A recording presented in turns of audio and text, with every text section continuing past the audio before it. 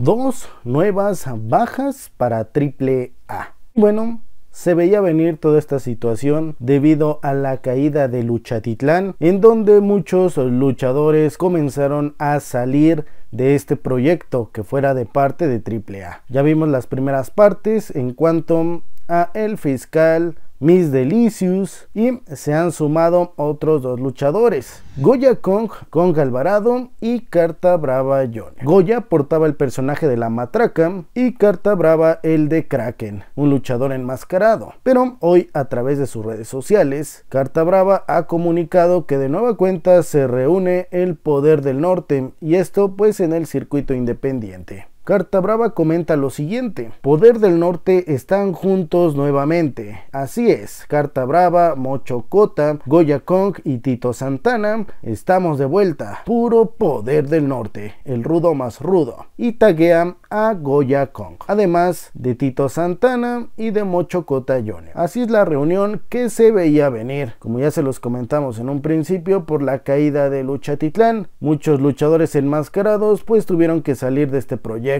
uno pensaría que volverían a aportar sus personajes pues con normalidad en AAA, pero parece que no va a ser lo indicado. Al menos veremos de nueva cuenta reunida una de las últimas buenas facciones que tuvo AAA en su momento, como lo fue el Poder del Norte. La verdad es que a mí me gustaban como tercia. Siempre llegué a pensar que se enfrentarían contra la NGD, ese encuentro soñado con la mejor tercia de AAA en su momento porque lo fue. El Poder del Norte fue en su momento la mejor tercia en AAA. Calidad indiscutible, como equipo, como tercia, se manejaban bastante bien y siempre se comparaban con la competencia, ¿no? En cuanto a calidad luchística. Y fue hasta que llegó la NGD a AAA cuando este encuentro pues se pudo llevar a cabo. La lucha de ensueño se cumplió y chocaron el poder del norte y la NGD. Lastimosamente la rivalidad no llegó a más. Hubiera sido fenomenal haberlos visto en una lucha de máscaras contra cabelleras. El resultado iba a ser innegable. Iba a ganar la NGD, pero sin duda se iba a brindar una excelente lucha. ¿Cómo olvidar aquella lucha que se brindó entre el Poder del Norte y los OGT?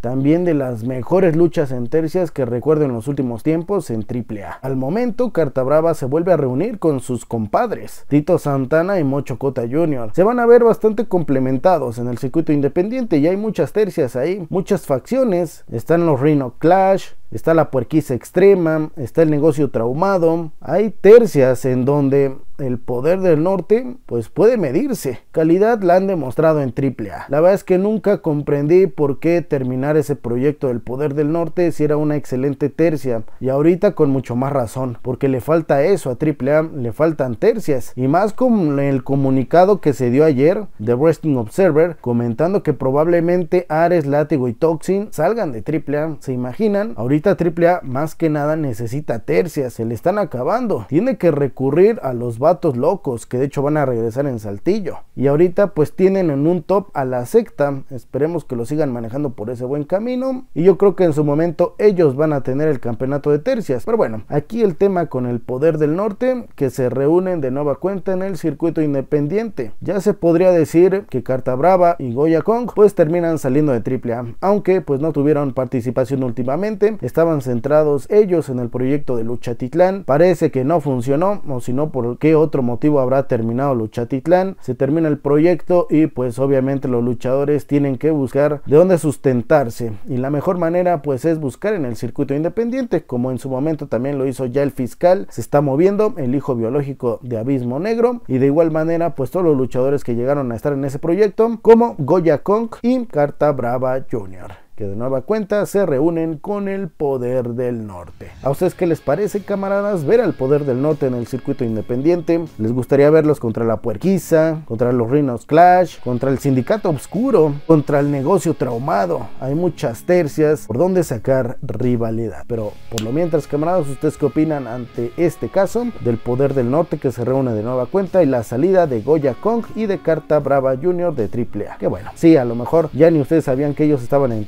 Porque pues no habían aparecido, pero pues con todo esto se confirma. Si Carta Brava Jr. no se unía en su momento al poder del norte era porque seguía perteneciendo a AAA, pero en este momento pues ya se reúne y lo hace oficial de nueva cuenta con Tito y Mocho Cota Jr. Los leo en los comentarios porque su punto de vista es el que más importa en este canal. Los saludos camarada Luigi Rocker y nos estamos viendo en un próximo video. Cámara banda. Bye bye.